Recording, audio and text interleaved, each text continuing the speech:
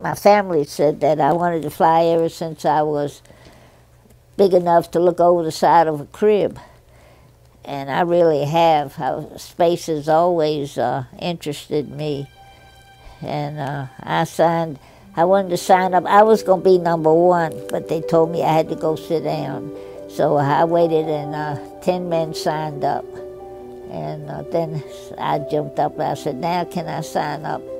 Knowing Lieutenant Colonel Guertin has been one of the greatest experiences in my life. She's just a great example and leader and she really shows what it's like to be a real person. One time we were out at Pocahontas and it was at night and she was out there in her wheelchair in the dark operating the radio. So she's been an inspiration to me. Well, I became a member on December 1st, 1941 when it first started. There were uh, mostly men, and so they let me sign up and said, You're number 11, but I don't know whether you can keep it because you're so young. But I did keep the number 11. So until this day, I still have number 11. Number 1 1 actually is in front of my number today to be a part of a squadron named after her. It has been a true inspiration for me as a cadet and now as a senior member. Um, it is an honor to be a part of a legacy that will last for many lifetimes.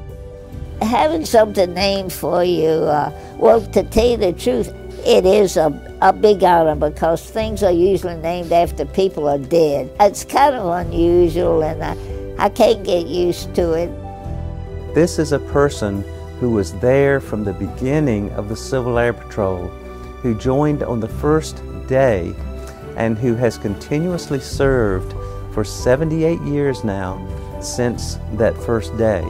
So she is our connection uh, to, uh, you know, to the past, to the beginning of the Civil Air Patrol.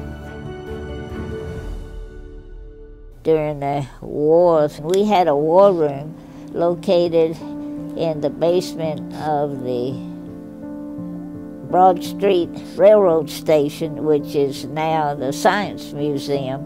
And we were down in what they called the bowels of the station because it was safe. Then we had a big, huge map, and we would plot the planes as they came across. We would plot them all the way across the, st the state. Colonel Guertin has been an amazing part of our squadron. It's really interesting to think about how she's an original link to the first start of CAP.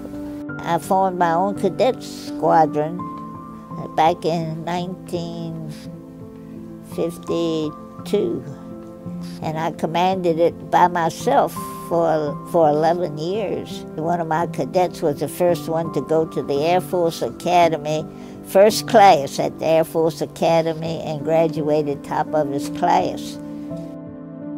Having Colonel Guertin here continuously is one, just it's unheard of really if you think about it.